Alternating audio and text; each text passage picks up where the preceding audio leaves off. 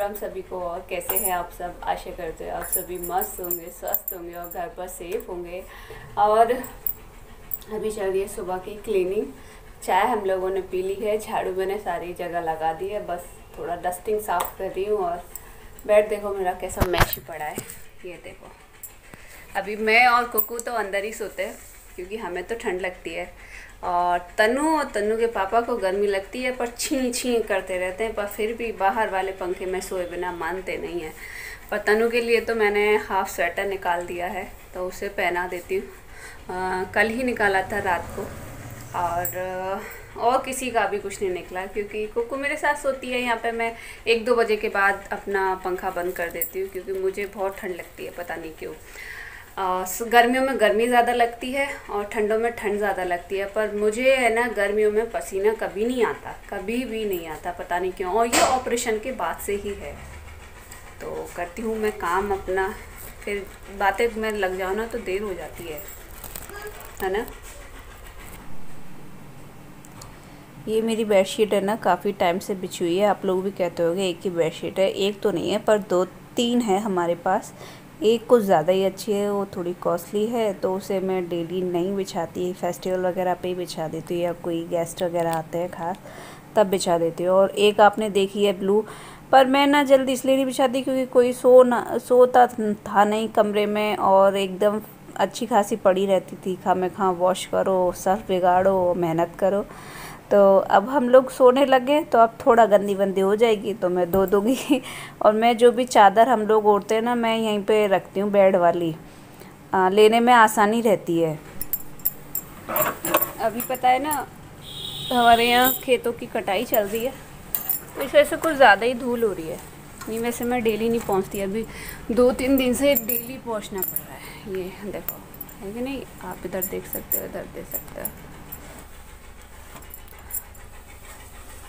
नहीं, मैं, मुझे जब टाइम मिलता था, मैं तभी साफ़ करती थी, क्योंकि तब ऐसे, अब खेत खाली हो जाते ना, दोपहर में हवा चलती है। डस्टिंग उड़ उड़ के आती है, हमारा घर वैसे भी खेतों के पास है।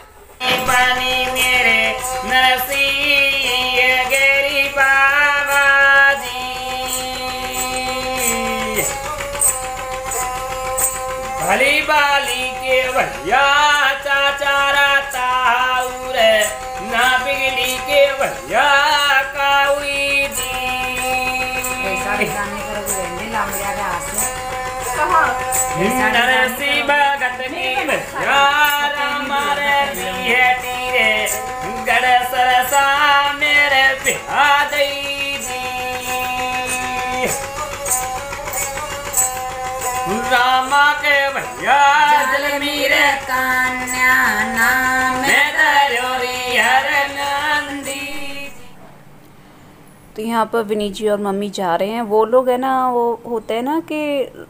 मतलब अपना देश छोड़ के पुराने देश आ जाते हैं और कुछ होता नहीं है उनके पास तो वो वही लोग थे। तो मैंने उनको इक्कीस रुपये दिए, बस मेरे पास जो था मैंने वो दे दिया। भाई, ज़्यादा मुझ पर थे नहीं और इतने से कम भी थोड़ा अच्छा नहीं लगता देने में। तो मैंने उनको दे दी पर वो बोलनी थी कि मुझे एक साड़ी दे दो, शायद आपने देखा, उनके एक हाथ में भी लग रही थी, किसी ने दी थी गाँव में से। मैंने कहा मैं खुद ज़्यादा साड़ी नहीं पहनती गिनी चूड़ी गिनी चुनी साड़ियाँ हैं वो मैं ऐसे दे नहीं सकती क्योंकि मम्मी और आ, ये मतलब मम्मी पूजा करने गई थी पूछ के देती तो अच्छा होता पर है ना मैं मेरा मतलब ऐसे दिल गवाह नहीं दे रहा था पता नहीं क्यों तो मैंने दी नहीं मैंने मैंने कहा बस पैसे ही ले लो आप बहुत हैं।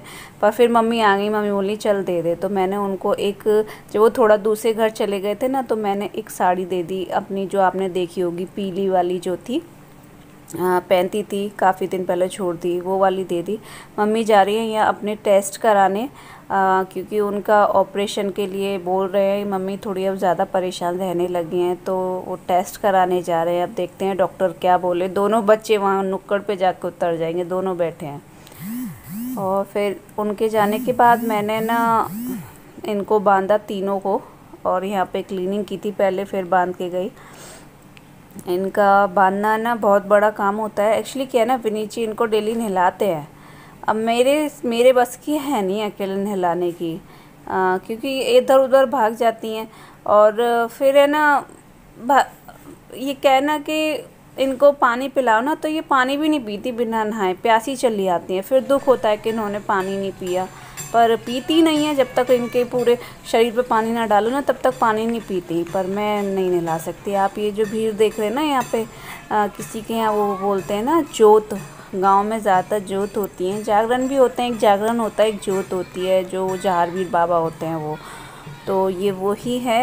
आ, मतलब वो जब जोत हो मतलब पूरी रात जगराता सा करके और फिर सुबह पूजा के लिए जाते हैं ना तो हमारी पतवारी पे ही आते हैं। सब पूरे गाँव में कहीं भी हो सब पथवारी पे आते हैं तो वहाँ पे नाच कुंद हो रहा है, उनका, वो लोग नाचने भी आते हैं कुछ। और यहाँ पे जब मैं घेर में आई दोबारा झाड़ू लगाने, भैंस बांधने के बाद तो यहाँ पे मुझे एक ये चिड़िया मिली जो घायल थी बहुत बुरी तरीके से। सर, आप देख रहे होंगे इसका, देखो। तो शुरू में देखने में तो ऐसी लग रही थी इसकी एक आँख भी निकल गई है, पर नहीं, दोनों आँख थी। मैंने सक्षम को बुलाया। मुझे ना बहुत मतलब अंदर से ऐसे खून खच्चर सा देख के बहुत अजीब सा लगता है सक्षम ने इसे पानी पिलाया। पानी पिलाने के बाद पकड़ने की कोशिश की कि दवा लगा देंगे हम इसके।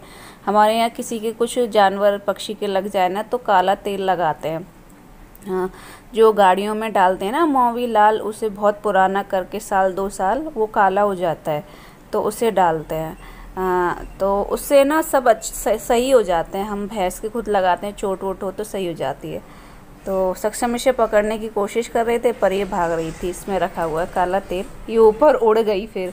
फिर उन्होंने एक ढक्कन में लेके और इसके ऊपर चार ऊपर सर पे ही चोट थी इसके। डर लग रहा था सक्षम को डालने में पर डल गया था। तो फिर वो उड़ गई। मैंने कहा चलो हमारा जो था करना करने का था, वो हमने कर दिया। पानी पिला दिया और उसके मल्लम पट्टी जो जैसे हमारे से बनी वैसे कर दी। फिर नहा के मैं वहाँ सफ़ाई कराई थी, घर तो हो ही जाती है मेरी। और फिर नहाने के बाद फिर मैं पौधों में पानी लगाने गई। ये ना कुछ धूल धक्कड़ का सा हो रहा था। एक यही मेरा पौधा है जो ज़्यादा ग्रीन है सब पौधों में से। और तो सब थोड़े येलो से या फिर ऐसे ही हैं, क्योंकि अब सर्दियों का मौसम सा होता जा रहा है ना तो पौधे पता नहीं क्यों ऐसे हो रहे हैं। मेरी तुलसी तो पता नहीं क्यों जलती जा रही हैं। मम्मी बोलती हैं, छोटे से गमले में, इसलिए ना तो ये बढ़ रही हैं। मैंने कहा, पानी तो मैं रोज़ लगाती हूँ, पर अच्छा नहीं होता तुलसी का ऐसे रहना। तो मम्मी बोली, चल, कोई बात नहीं। गुड मॉर्निंग मेरे धुल रहे अभी कपड़े और मम्मी और विनीत जी अभी आए नहीं हैं। उनके ऑपरेशन के लिए सारे जो टेस्ट हो रहे हैं ना उनमें थोड़ा टाइम लग रहा है। मैंने फ़ोन करके पूछा था। और एक बार दूसरी बार धुल रहे हैं ये वाले कपड़े मेरे। और ये बच्चों के मैंने धो के डाल दिए सारे। एक्चुअली क्या है ना ये कम से कम चार से पाँच दिन के कपड़े हैं। आ, तीन दिन से मेरा मतलब एक दिन मैं मार्केट गई थी तो उसके नेक्स्ट यानी मुझे उस दिन कपड़े धोने थे जिस दिन मार्केट गई थी पर नहीं धो पाई। और फिर नेक्स्ट डे मैंने मंदिर साफ़ किया तो थोड़ा टाइम ज़्यादा हो गया और मुझे नहा धो के, खाना खा के कुछ भी करने का मन नहीं करता है। और फिर कल मैं मम्मी के गई तो आज मुझे टाइम मिला है तो मैं आज कपड़े वॉश किए और विनी जी का आज फास्ट है, यानी कि मंडे है, और कुकू अपना दूध ठंडा कर रही है, ये रही। ये बैठी। और तन्नू अपना नहा धो के अंदर टीवी देख रहा है। मैं भी थोड़ा सा नाश्ता करूँगी। यानी कि दूध पीऊँगी। अभी मतलब ना, ये घूमने गए थे। तो जहाँ घूमने गए थे ना, उनके घर एक गुड़ बना मतलब वहाँ कोलू है। और उनके घर वो गुड़ आया हुआ था तो इन्होंने मतलब ऐसे पूछा कि ये कैसा गुड़ है कि तो खा के देखो तो इन्हें अच्छा लगा तो उन्होंने ना हमारे लिए गुड़ रख दिया वो। तो वो ना कुछ ऐसे है, कतली टाइप है, उसमें ना मेवा वगैरह मतलब इलायची, सौंठ वगैरह, ये सब बन के ना एकदम कतरी सी बनाई हुई है, पर वो कोलू पे ही बनता है, किसी दुकान पे नहीं बनता, उन्होंने बताया। तो मैंने बोला, आप नेक्स्ट टाइम जाओ ना तो ज़्यादा सा लेके आना, मुझे बहुत अच्छा लगा, उसे दूध पीने में बहुत ही अच्छा लगता है। मैं आपको एक पीस दिखाती हूँ। क्या दूँ? ये देखो तनु। हाय बोलो तनु। हाय। कैसे हो? कैसे हो? और देखो मेरी फुल स्लीव की ये वाली टी शर्ट निकल आई और देखो पजामी भी निकल आई है ना? अय्या। अय्या बस बस तो हम कर ले थोड़ा सा नाश्ता यानी कि पेट्रोल डाल लें और टाइम आपको दिखाई दे रहा होगा साढ़े ग्यारह हो रहे हैं मुझे। आ, हम तो अभी नाश्ते से सर जाएँगे मम्मी कुछ नहीं खा के गई क्योंकि उनका अल्ट्रासाउंड होना है इस वजह से। तो मिलती हूँ मैं पेट्रोल डालने के बाद। मैंने अभी बाल भी कॉम नहीं किए सब ऐसे ही हैं ना के सबने हेयर वॉश किए क्योंकि मम्मी ने भी किया कल एकादशी उनकी मेरा आज मंडे है मैं फ्राइडे मंडे करती हूँ फ्राइडे मंडे करते हैं। तो मिलती हूँ बाद में आपसे। ये है वो गुड़, कुछ कतली की तरह है। पर इसमें ना ड्राई फ्रूट दिखाई नहीं दे रहे, या तो पीस के डाले, और कोलू में तो अगर पीस के भी नहीं डाले होंगे तो पिस गए होंगे। और फिर बाद में उस गुड़ को जैसे हम जन्माष्टमी बनाते हैं ना कतरियाँ जो बनाते हैं तो कतरी बोलते हैं, वो जमा दी है। अभी मैं ठंडा कर रही हूँ दलिया। दलिया में आप पता है गुड़ पड़ता है, थोड़ा गरम रखने के लिए। मिठास लाने के लिए और अगर आप किसान हैं तो जानते होंगे भैंस को दलिया क्यों खिलाते हैं, मुझे तो इतना नॉलेज है नहीं। पर अभी डालते हैं तो मतलब नीचे डालते हैं, मम्मी ने बोल रखा है। तो मैं भी डाल दी, देखती हूँ डेली अभी इतनी नॉलेज नहीं है मुझे इनके बारे में। इन लोगों को मैंने बाँध दिया यहाँ पर ये अपना अपना चारा खा रहे हैं। ये गुड़ है ना, बड़ी मुश्किल से फूटता है। इसे हाथों से प्रेशर दे दे के फोड़ो। और ये तो ठीक है, विनीत जी, काम आसान करने के लिए चूरा लेके आए जो कस्टमर गुड़ लेके जाते हैं ना दुकानों से, उसमें से चूरा हलता है तो वो वो लेके आए तो थोड़ा जल्दी घुल जाता है। अगर साबुत डरी लेकर आओ तो बड़ी दिक्कत रहती है।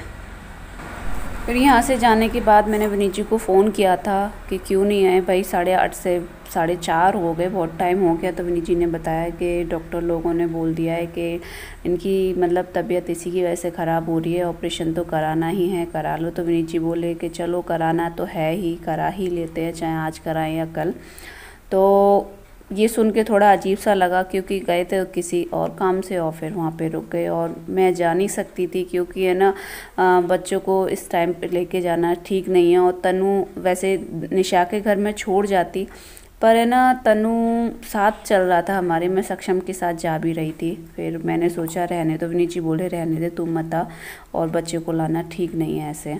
और विनीत जी ने, विनीत जी भी वहाँ पे थोड़ा हॉपलेस हो जाते हैं। मतलब वो ऑपरेशन का नाम सुन के पता नहीं क्यों उनको अजीब सा फील होने लगता है कि जब से मेरी तबीयत ख़राब हुई है तो उन्होंने फिर दोनों दीदियों को वहाँ पे बुला लिया था। दोनों दीदी आ गई थी, दोनों जिया जी आ गए थे।